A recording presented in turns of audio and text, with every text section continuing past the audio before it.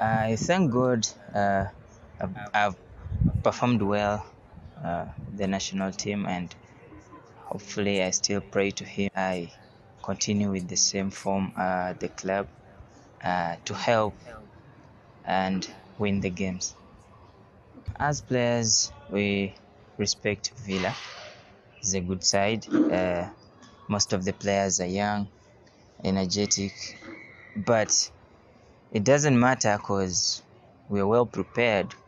We need to win the game. It's very important to receive uh, again our players, and uh, I trust too much my players because, and uh, every time we give good feedback inside the field, and we prepared very well this game.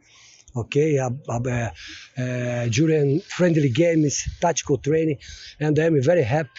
And uh, in special, uh, I want to talk about the Carissa. Carissa, uh, he's a smart player, tactical player, because every time uh, movie, movie, movie, and give you option between lines. About this, I think it's very important and uh, for for Vipers.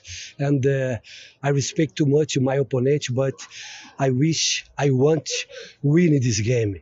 I think it's our objective.